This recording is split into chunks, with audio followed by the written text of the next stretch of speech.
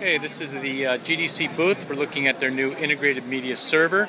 Uh, and what that means is it has an integrated media block, it has a local processor, and it has storage built into it. Uh, so you don't need an external uh, larger storage uh, device and processing device. It's all built into uh, the projector itself. This is actually a physical card, a board, that also has um, inputs for external storage uh, this external storage device they call a uh, PDS, a, a, portable storage device. Uh, it has uh, it's a, a, dual RAID solution. Uh, there's also an Ethernet connection here, so you can have network storage device.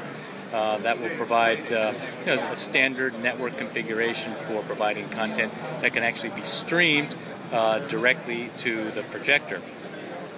Uh, what's also nice about this integrated media server, uh, which is called the model uh, SX3000, uh, is that uh, it also has a, a, scaler built into it and it has a satellite decoder uh, built into it depending on whose satellite service you're, you're, you're using. Uh, they would provide the software stack, but the, the hardware uh, decoding is, is built in. So you get a lot of functionality built into this that probably some of the other um, integrated media servers don't have.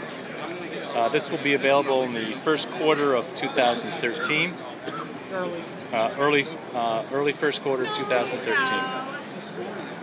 Uh, this also has capability to support 4K, high frame rate, of course, uh, and it has uh, an HDI connector here.